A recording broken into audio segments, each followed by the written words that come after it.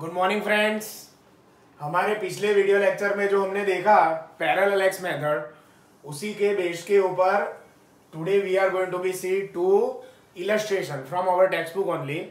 so as per as illustration 2.3 is concern उसके अंदर हम जो टेक्निक यूज़ करेंगे, वो फाइंड करेंगे distance between two same planet from the earth मतलब सपोज़ मुझे ये प्लैनेट है, उसका डिस्टेंस अर्थ के ऊपर से फाइंड करना है तो जैसे वीडियो लेक्चर में समझाया so theta is equal to arc upon radius तो यहाँ पे थीटा इज़ इक्वल टू ये अर्थ का जो भी डिस्टेंस आपको दिया है it is given in text book that is B is equal to one point two seventy six into ten raise to seven meter and theta is given angle subtended at the planet which is given in terms of theta is equal to one degree fifty four minutes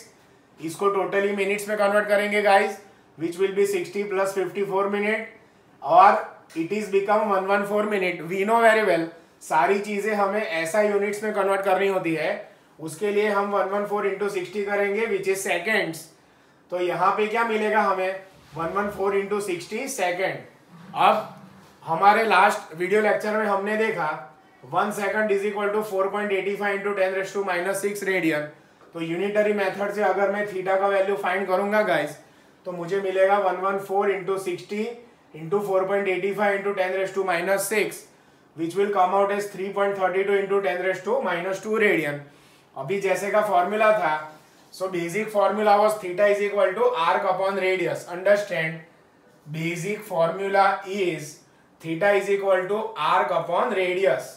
तो वो formula होता है B upon S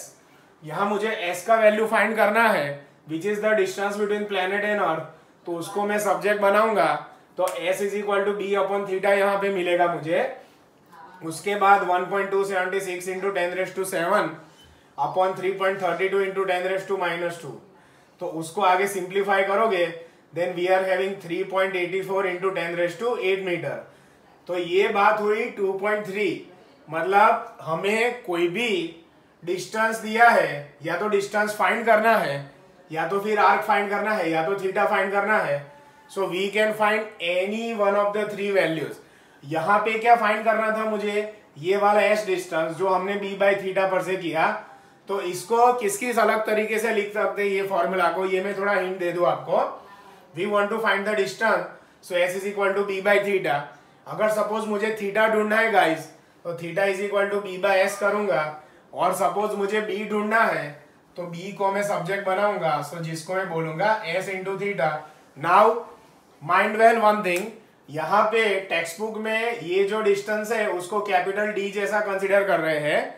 That is also you can denote distance by any means you can put X also any variable you can put in our text book it is mention as a capital D understand जो मैंने यहाँ पे distance S लिया है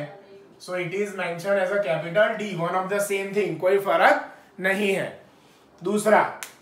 now moving towards illustration number 2.4 जिसमें इसका parallax method का दूसरा use finding diameter of any other planet from the earth मतलब मुझे ये लीनियर डायमीटर फाइंड करना है गाइस तो मैंने आपको समझाया था linear diameter is equal to angular diameter into distance तो लीनियर डायमीटर डी है, ये डिस्टेंस आपको एस है एंगुलर डायमीटर थीटा है. तो सबसे पहले theta is equal to one nine two zero seconds आप अच्छे से नोटिस करो गाइस अगर सिंगल टिक है सिंगल टिक तो इसको मैं डिनोट करूँगा as a minute double tick है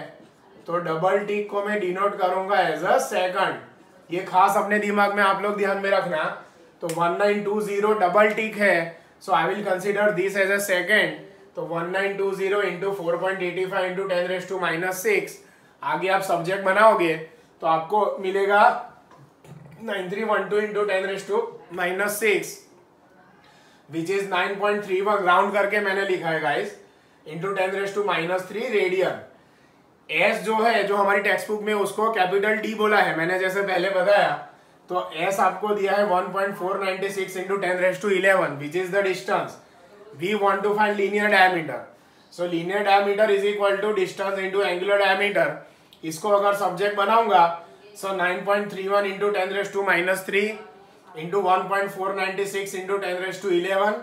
is equal to